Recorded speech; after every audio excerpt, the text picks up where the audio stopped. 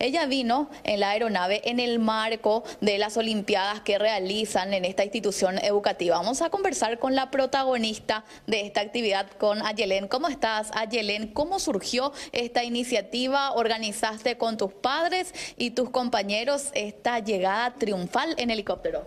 Buenas, ¿qué tal? Sí, primeramente tuvimos hace un año la idea de traer algo nuevo, algo llamativo a nuestra inauguración de nuestras justas y conversé con mis compañeras que están acá presentes y otros para ver la posibilidad de traer este helicóptero, ¿verdad? Y nos propusimos a trabajar para lograr y así vimos ayer que se pudo alcanzar, ¿verdad? Y llegamos a la meta. ¿Cómo costearon? ¿Cuánto les costó también? Ese detalle queremos saber porque sabemos que no es barato. Sí, em, vimos el presupuesto primeramente y dijimos que podría, era imposible, ¿verdad?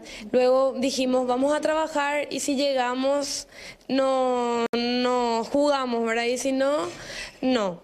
Pero fuimos trabajando y juntamos el dinero y pudimos alquilar esto. ¿Cuánto costó? 800 dólares. Más o menos 5 millones de guaraníes. Son más o menos 5 ¿Qué millones. actividades ustedes hicieron para hacer o para poder juntar este dinero? Realizamos milaneseadas, hamburgueseadas, rifas, vendíamos chupetines. Nuestro equipo, el color celeste, se encargó de vender su- todas sus adhesiones y de salir a la calle y juntar ese dinero. ¿En cuánto tiempo más o menos juntaron ustedes estos 5 millones? La verdad que las actividades empezaron hace un año atrás ya, ¿verdad? Eran em, entre pocas personas, pero ya eran personas del color y luego se fueron sumando más y más para llegar a la meta, ¿verdad? Que fue en estos últimos tres meses. También sos la reina de tu curso. Soy la reina del color celeste.